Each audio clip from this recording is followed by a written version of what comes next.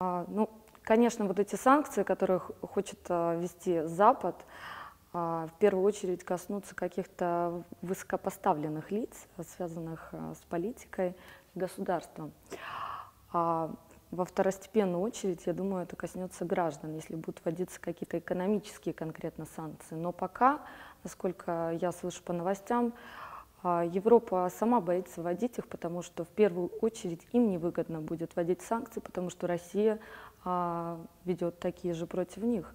Не бывает а, чего-то одностороннего, все всегда имеет а, обратный эффект.